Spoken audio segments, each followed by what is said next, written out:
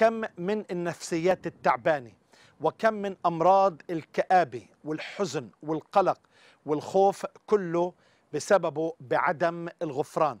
عدم الغفران هي عملية أنك أنت بتحط حجر ثقيل وبتمنع قناة بركة الله أن تتدفق في حياتك.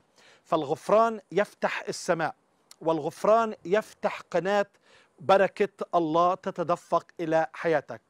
والغفران يقودك إلى التحرر. حتى لو الشخص الآخر اللي أساء إليك أنت غفرت له حتى لو هو رفض أو ما قبل على الأقل أنت داخليا بتكون متحرر.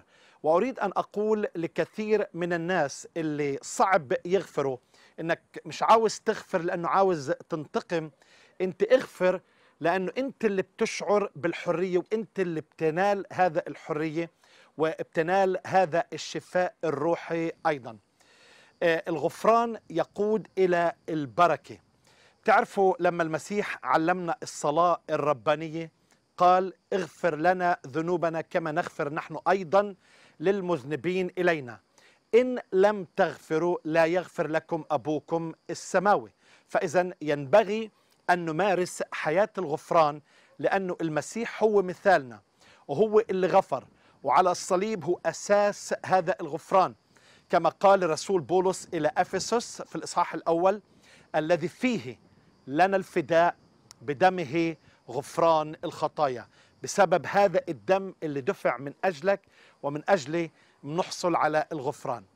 الرسول بولس كتب إلى كنيسة كولوسي قال إن كان لأحد على أحد شكوى كما غفر لكم المسيح هكذا أنتم أيضا. دعونا نمارس حياة الغفران حتى نحصل على البركة نحصل على الشفاء نحصل على القوة الروحية الداخلية حتى نتمتع ببركات الله وحتى يكون في استجابة للصلاة في حياتنا. بصلي إن الرب يباركك. وإذا أنت في مرارة في داخلك ما تخلي هاي المرارة يعني تنجس كل جسدك لكن اطلب من الرب إنه يحررك ويشفيك أيضا ومارس الغفران مع شخص آخر.